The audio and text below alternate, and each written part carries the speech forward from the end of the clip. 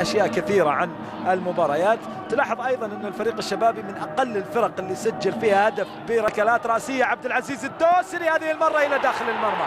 جول أول للفريق الهلالي.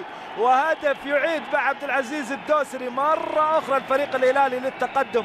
وسط فرحة أيضا من الإداريين في الفريق الهلالي ووسط محاولة أيضا لعبد العزيز الدوسري اللي شاهدناه في شوط المباراة الأول وظهر في أكثر من محاولة وينجح الآن في كسر مصيدة التسلل. ويتلقى التمريرة من من؟ عبد العزيز التمريرة كانت من عمر مرور أول ومن ثم مرور ثاني وتسديدة أرضية غالطت وليد عبد الله. كرة كانت أرضية إلى داخل المرمى كهدف أول للفريق الهلالي. هذا عبد العزيز الدوسري والكرة اللي مرت بين أقدام وليد عبد الله في آه كرة أيضا مميزة للفريق الهلالي والكرة إلى داخل المرمى